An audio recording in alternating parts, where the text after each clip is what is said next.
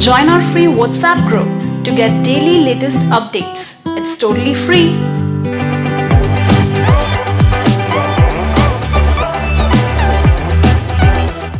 Part 1 You'll hear a lecturer talking to students about the ozone layer and CFCs. First, you have some time to look at questions 1 to 7.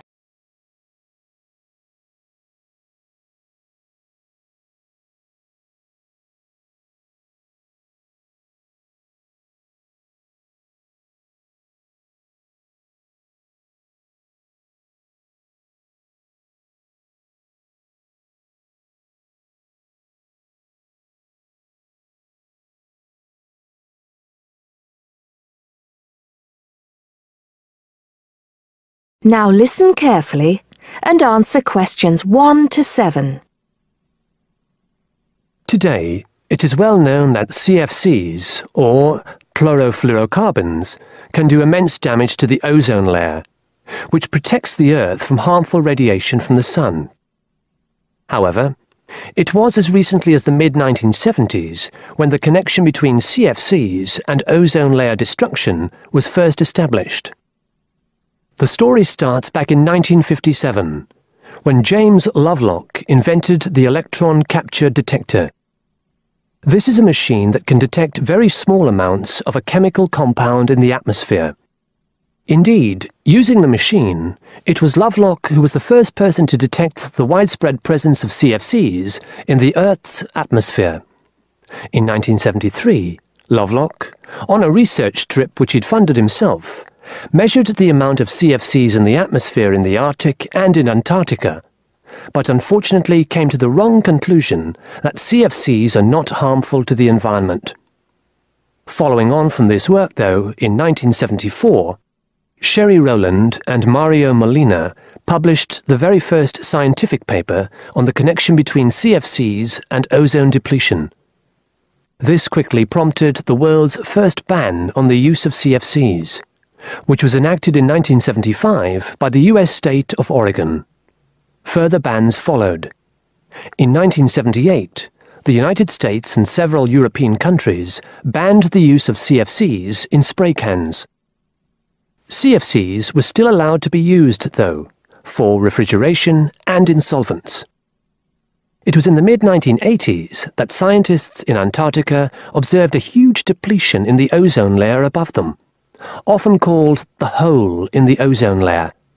This led in 1987 to the signing of the Montreal Protocol, which called for further reductions in the production and use of CFCs, and then, two years later, to a European Union agreement to ban the production of all CFCs by the end of the century.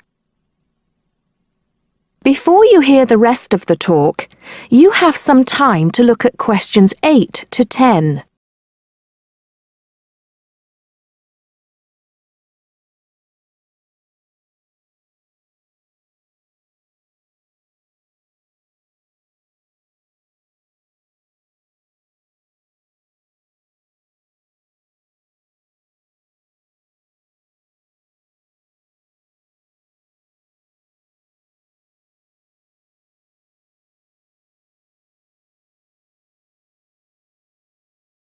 Now listen and answer questions 8 to 10. So why exactly are CFCs so harmful? One of the reasons CFCs were so popular in the production of solvents and refrigeration coolants is that they are unreactive.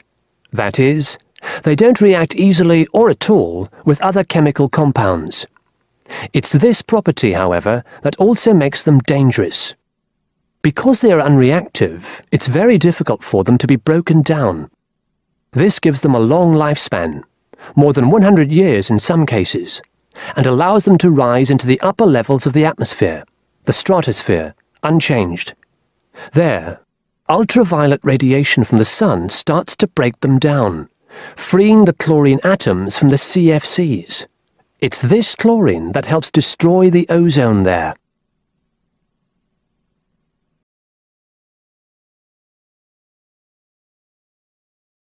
That is the end of part one.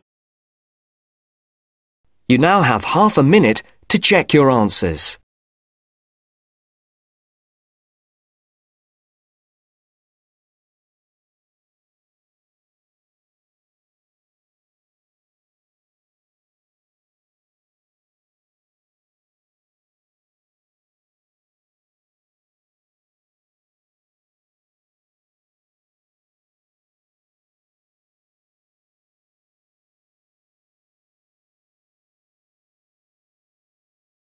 Now turns to part 2.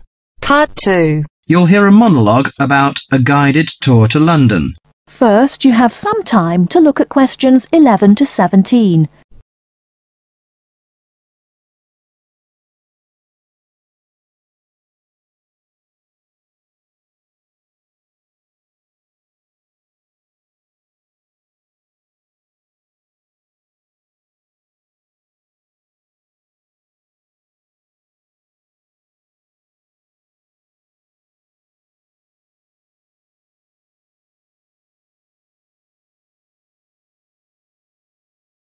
Now, listen carefully and answer questions 11 to Hello, can I just have your attention for a minute?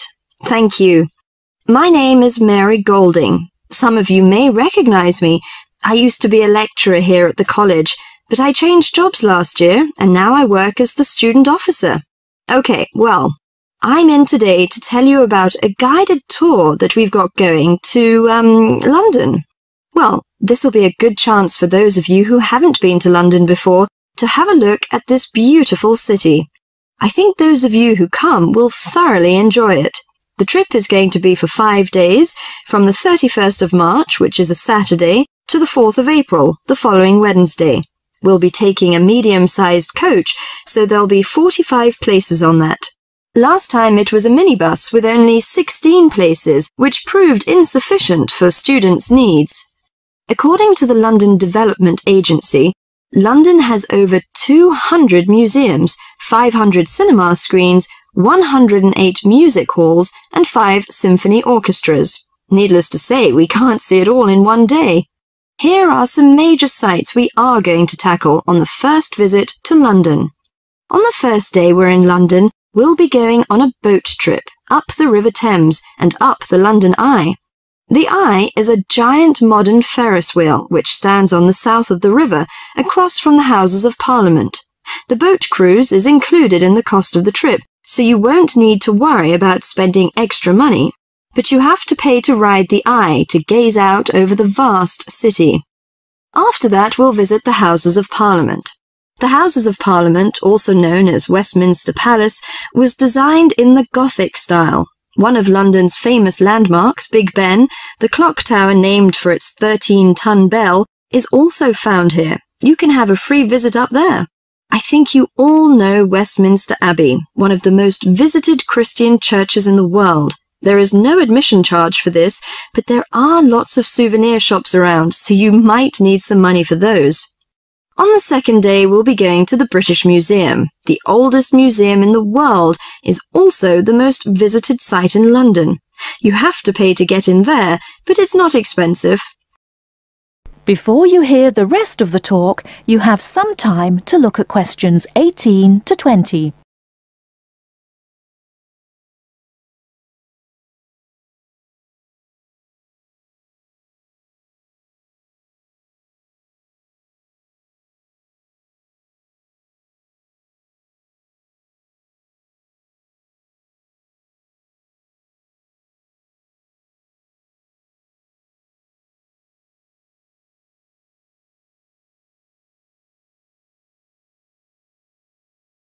Now listen and answer questions 18 to 20. Also the most visited site in London. You have to pay to get in there, but it's not expensive. The museum's newly constructed £100 million Great Court, a two-acre square enclosed by a glass roof, is the largest covered public square in Europe. It is called the Great Court. On the third day, you'll be free to do whatever you like. Personally, I recommend the Natural History Museum. It has over 68 million specimens. Fun exhibits include the Blue Whale exhibit, Rainforest Gallery, Earthquake Experience, and dinosaur displays. The Globe Theatre is a place worthy of visiting. The original Globe Theatre, where actors performed William Shakespeare's plays, burned down in 1613. The newly reconstructed Globe, however, copies original drawings of the 16th century's building's details and uses many of the same techniques and materials. Theatregoers can see performances of Shakespeare's plays, such as Romeo and Juliet and Much Ado About Nothing. If you'd like, can you sign up on this form on the student notice board by Friday? It'll be first come, first served. That is the end of part 2. You now have half a minute to check your answers.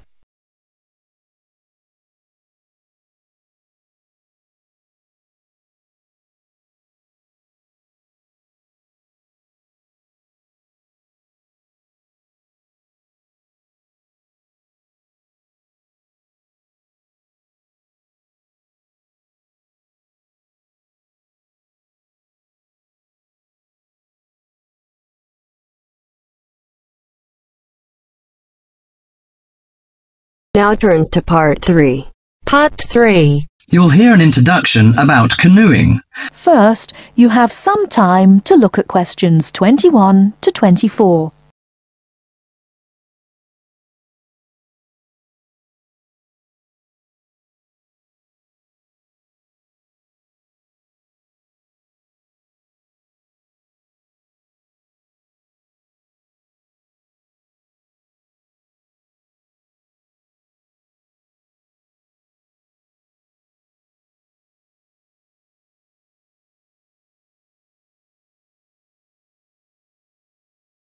Now, listen carefully and answer questions 21 to 24.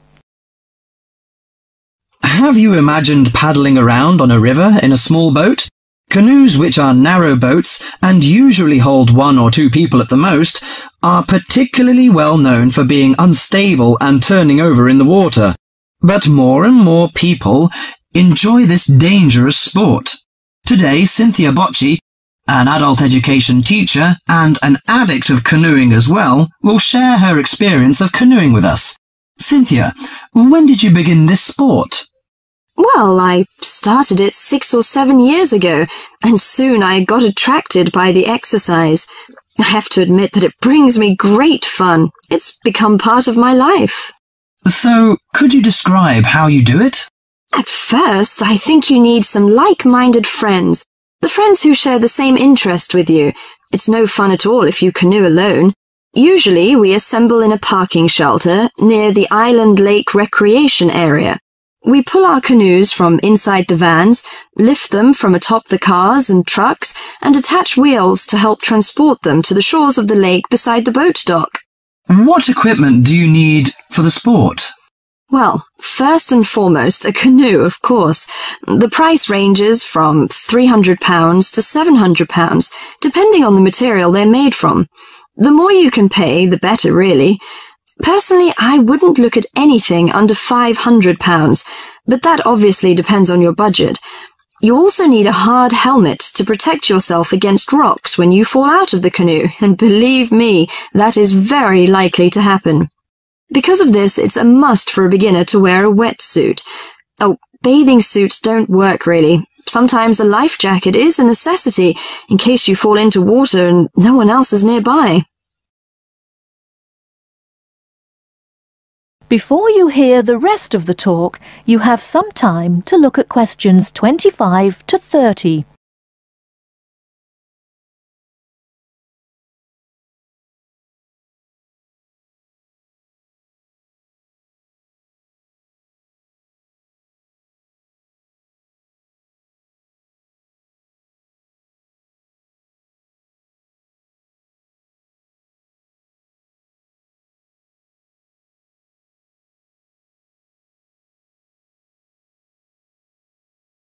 Now listen and answer questions 25 to 30.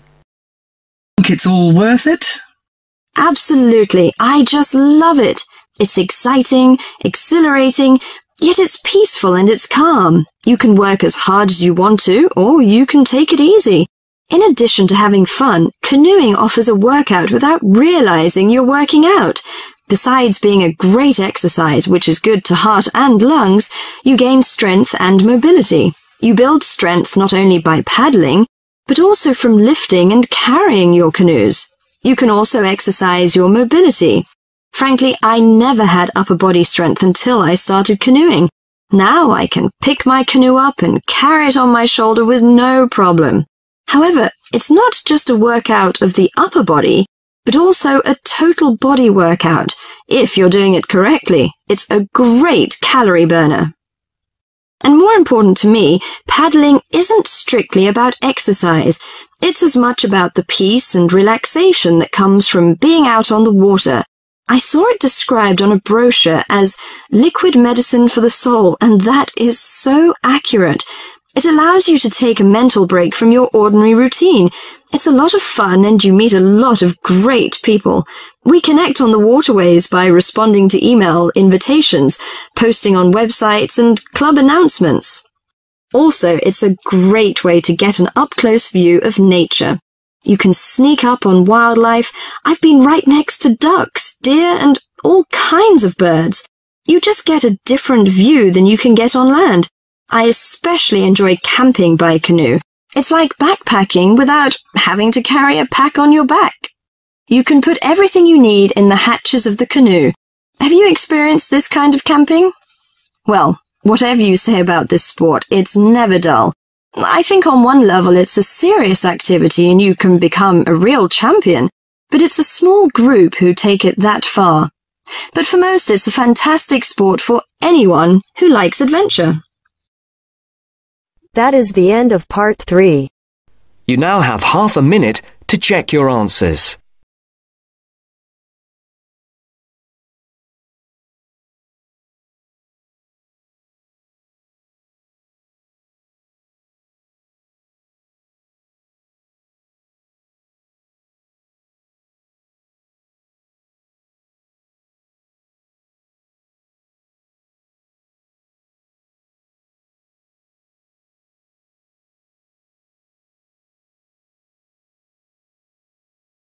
Now turns to part 4. Part 4. You will hear part of a lecture on wildlife. Listen carefully and answer questions 31 to 40.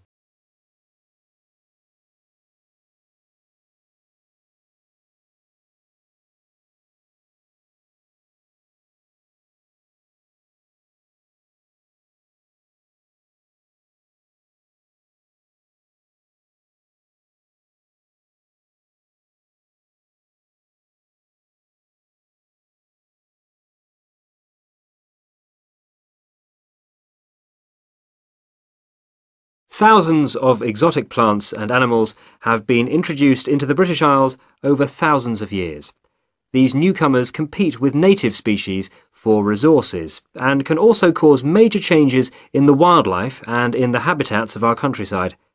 The problem is not just British, of course, but global, and it has been going on for centuries. One good example of this I'd like to mention today is the European starling.